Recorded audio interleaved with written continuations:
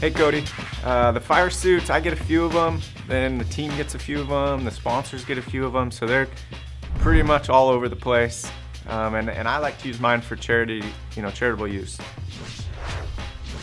We don't really do team hazing, um, except for a new member, uh, new member of the team. After we win in victory lane, we get spraying with champagne and pour Gatorade all over them. So it's not really team hazing; it's more like a rite of passage, and it's uh, it's really a good thing.